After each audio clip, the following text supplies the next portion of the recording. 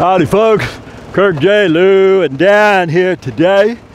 Today I want to go over something, and a fella asked me this uh, just two nights ago. He said, Kirk, can you explain Lumnite? So I explained it, and I thought, you know, we're going to be using Lumnite on a job. So I'll show you guys what it is. What is Lumnite? Lumnite is an accelerator for Portland cement. Now see this stuff? Lumnite, just like my brother Lou. Okay, so what Lou's doing is he's going to take some of this Lumnite, he's going to add it to the mixer. This brand new, it's like $80 a bag. I remember when I first started, it was $15 a bag. Anyway, you take one handful and it'll accelerate a five gallon bucket of mud, just like that. In four months, you'll need four handfuls, and in a year, you'll need 12 because this is, it's like ammunition, guys. It gets old. Any of you seasoned veteran plasters might know this. You'll say, why not use Eisenwall? I could mix some Eisenwall in this, but you're not supposed to do that. This is a hydraulic and this is a hydraulic. However, this right here will change the suction and the color, guys. Don't do that. Anyway, I'm going to walk you back here. What we have here is, man, we started this house a year and a half ago, and they were waiting for the windows or for the rear doors. It took them six to nine months to get these doors, and these guys were pissed off. I'm gonna walk in the back. Quick thing, we did this in uh, Christmas, a week before Christmas, just for the heck of it. See that little tiny crack there? Owner said, "Why is that?" I said, "You don't have any cracks anywhere else in the whole house." Why do we have that one? We had five weeks of rain, and this right here, this wasn't here. This is six pallets, two tons of pallet. So you just added 20 tons of material. What causes cracking, guys?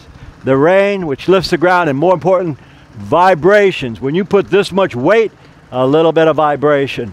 It's like kryptonite to Superman. So stucco and concrete, they don't like vibrations. Anyway, we're we're going to work in the back here first. This guy, he was waiting again. This door took a year to come. The one in the back took uh, six months to, to come. And what we had to do because they took so long is we had to repaper it.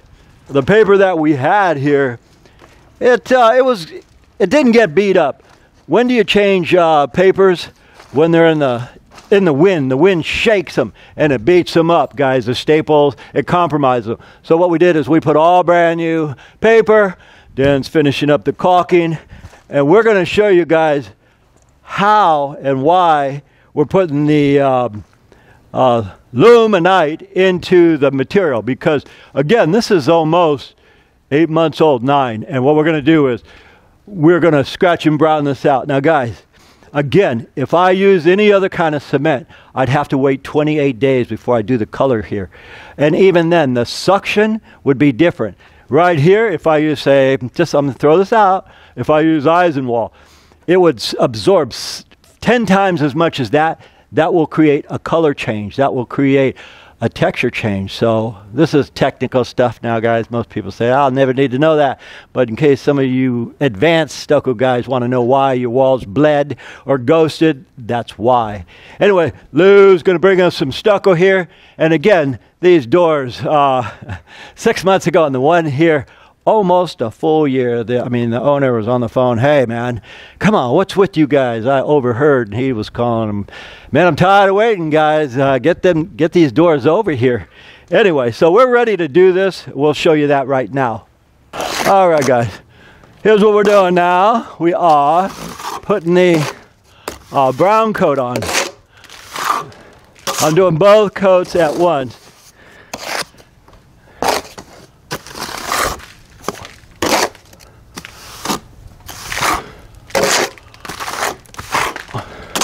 All right. This is at the end of the day, guys. This is our second job. And we're getting kind of tired. It's almost 5 o'clock. It's time to go home. But we got to knock this out here.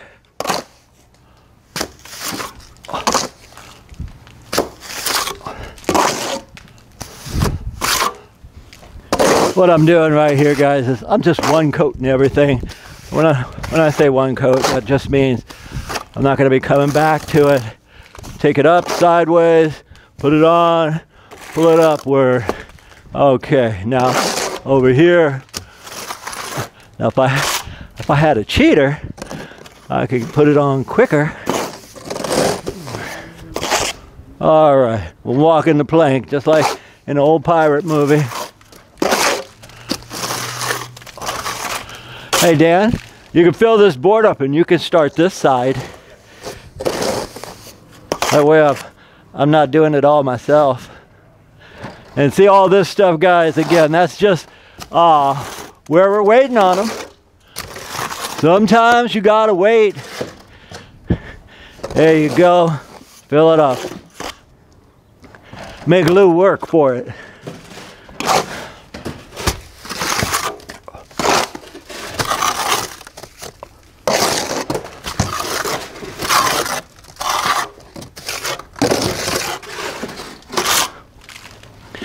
My brother's been off for a while. Jacked up his foot, so he's back.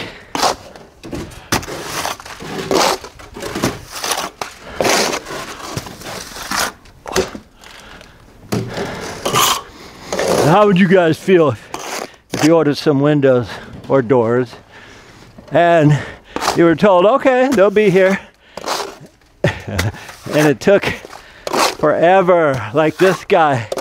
Uh, over a year for a couple of the, the sliding glass door in the front. It just goes to show you guys, sometimes you could plan out a job, plan everything out, and it doesn't always work how you, you like. So what I'm trying to do here, guys, is I'm filling this up, uh, putting, uh, oh, about seven eighths of an inch roughly on here. Once I got that seven eighths of an inch, then I'll darby this out.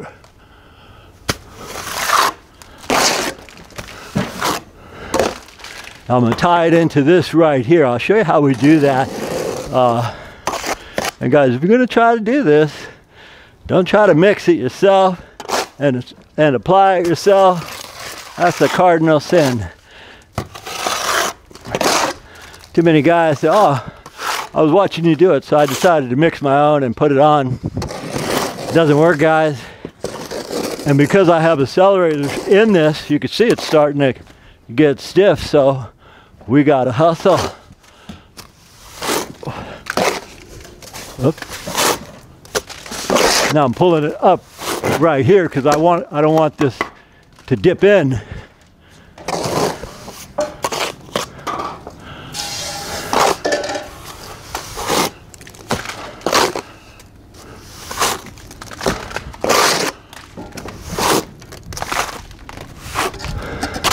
Uh-huh, exactly.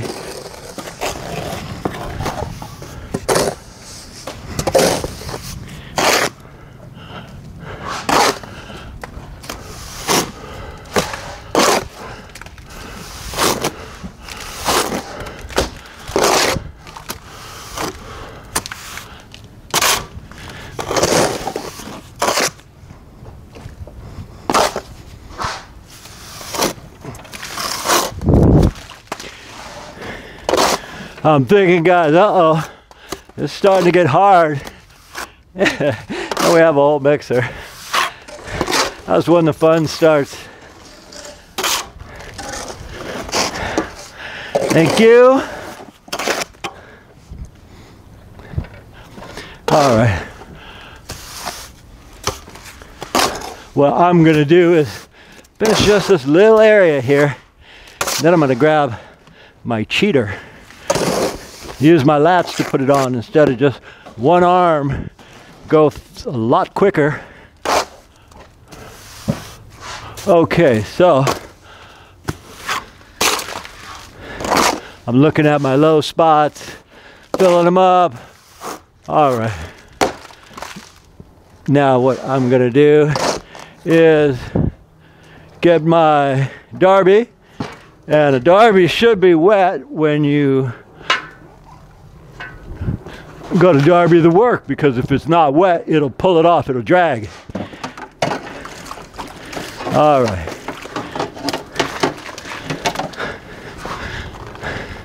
So again, what I want to do is make it flush. I want to chew it out, chew and plum.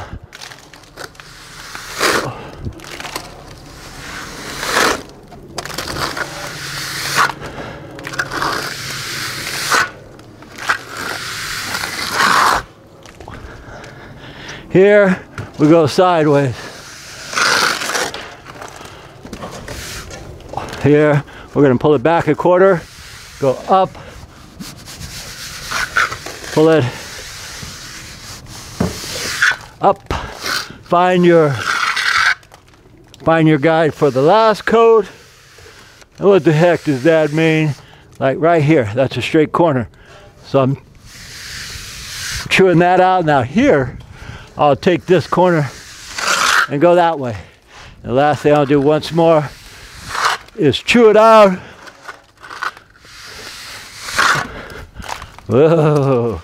All right, all right. So that's done, guys.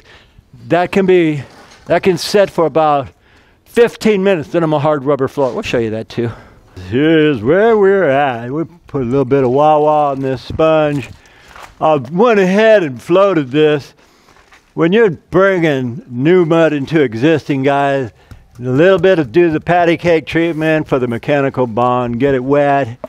Anyway, we are almost done.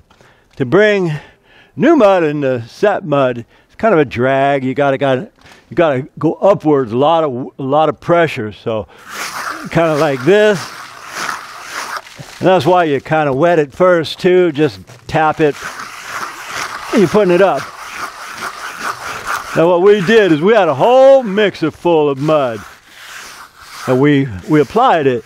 We finished this this entire back and we finished the front just now. So now that it's uh, uh, on and we're able to relax a little bit, exhale because we were sweating, man. We don't want to lose that. How stiff is this? Kirk's the best. All right. You see, now here, that's still, the higher I go up, it gets hard. Anyway, I'm messing around now just because I can. Okay, there goes. And what you want to do, guys, is bring the new into the existing hard. There's a lot of a lot of elbow grease in here. Uh, you don't want to go too soft. You want to put a lot of muscle in there and get it up under there. Otherwise, when it dries, you get a big perimeter crack. This guy here is just to clean this and make it pretty so that the owners say, Whoa, I think you guys know what you're doing. Okay, there we go. One last little piece here, and we got to get back on the front because we're burning daylight and it's time to go home. Anyhow, guys, you get an idea of Lumnite and how it sets a dual coat as far as why. I already mentioned that. It's kind of complicated. Anyhow, my name is Kirk Jason on the camera. We thank you guys for watching. And as usual, we'll see you on the next one. All right, folks, we want to thank you all for watching. If you enjoy the videos that we put out, please like and subscribe so that we can keep making these videos for everybody. And as always, From the from the entire entire Giordano family, family, we'll see you on the next one.